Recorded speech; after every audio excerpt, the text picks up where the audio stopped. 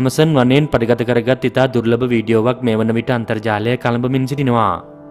එම වීඩියෝවේ අන්තර්ගත වන්නේ දස් නම්සය අනුපහ වර්ෂයේදී සහමුලින්ම විනාශකර දැම්මූ ගෝත්‍රයක තුරුවී සිටින පුද්ගලයෙකුගේ දර්ශනයකි. බාහිර ජන සමාජය සමඟ කිසිම සම්බන්ධතාවයක් නොපැත්තු එම ගෝත්‍රයෙන් ඉතුරුවී සිටින එම පුද්ගලයා වසර විසි දෙකක් පුරාවට හුද කලාව වාසය කර තිබෙනවා. එම වීඩියෝ අන්තර්ජාලයට එකතු කර තිබුණේ බ්‍රසීල රජය ඉන්දයානු සබඳතා පිළිබඳ වූ දෙපාර්තමයන්තුව විසින්. එම වීඩියෝවේ දිස්සන ගෝත්‍රික මිනිසා කැමරාවට හසුවී තිබුණේ බ්‍රසීලේ රොන්ඩෝනියෝ ප්‍රාන්තේ ස්වදේශය ගෝත්‍රිකයෙන් විසෙන තනාරු ලෙස හඳුන්වන ප්‍රදේශය තුළදී. එම භූමි ප්‍රදේශය හෙක්ටයාර අටදහක් පුරාවට පැතිරෙනවා. තනාරුවල විසුවම අධිවාසී ස්වදේශය ජනයාව බලෙන්ම ඔන්ගේ මවභූමියෙන් නමානුෂික ලෙස නිරපාදමීමට කටයුතු කරා. එම මහත් අසාධාරණ වූ සාහසික ක්‍රියාව සිදුකර ආක්‍රමණකින් සා විශාල ගොයිපොළ හිමියන් විසින් කුලියට ගනු ලැබූ වෙඩික්කරුවන් විසින්.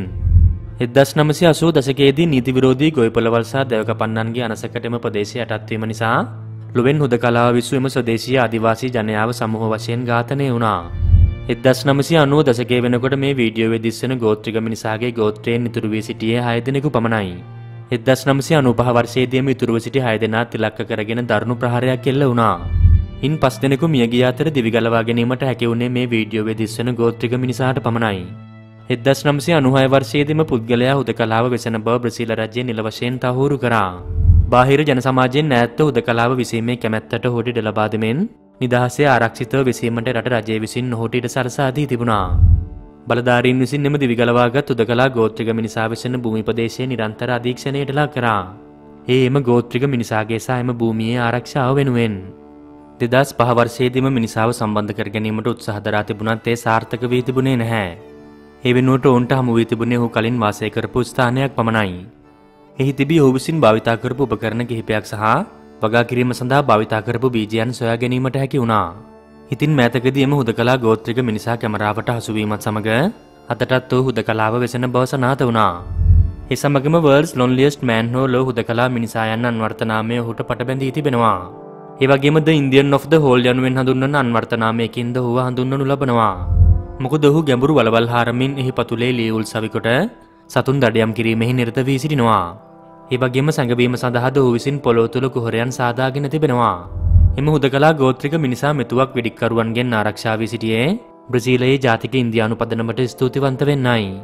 මොකදෙම පදනම විසින් නොවසන ස්වදේශය භූමිය ආරක්ෂා කර ගැනීම සඳහා නීතියක් සම්මත කර ගැනීමට සමත් වුණා.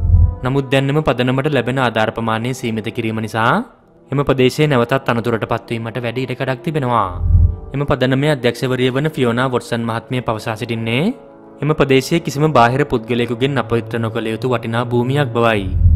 ඉහතින් විස්තර කළ එම හුදකලා මිනිසාගේ කුඩා පැල්පත්වලට අමතරව වනාන්තරයේ පුරාවට ඉරිඟු කෙසෙල් පැපොල්සා මං්ඥොක්කා බැවීම සඳහා කොටද සකස් කර තිබෙනවා.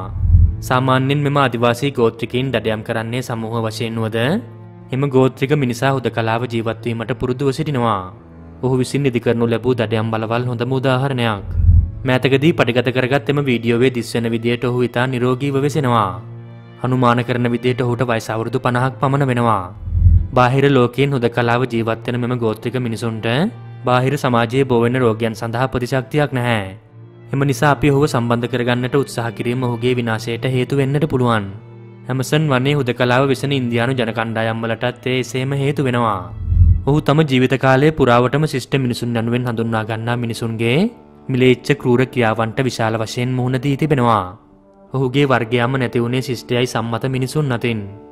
ඉතින් එම නිසා සැබෑම වනචාරින් එම වනෙහි වෙසන ගෝත්‍රික ජනයාද අපි දෙයන්න ගැඹුරින් සිතා බැල යුතු නොවේද. බොන්නදත් මෙවැනි දේවල් දිනපතා දැනගන්න අපිෝ සබස්ක්‍රයිබ් කරන්න. ඒවගේම කුඩා සීනුවෙබ්බොත් අලුත් වීඩියෝ එකක් දාපු ගමන් ඔබට දැනගන්නටත් පුළුවන්.